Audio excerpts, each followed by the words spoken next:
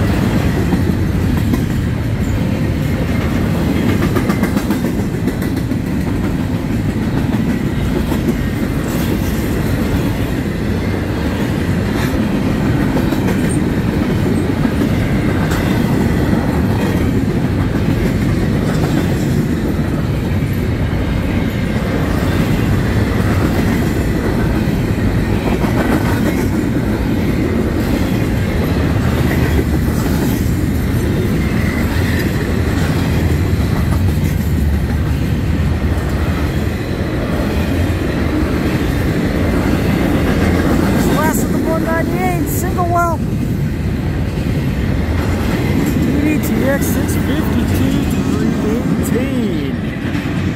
We have a roll by of the Hawk Q198, 51 of the 28th.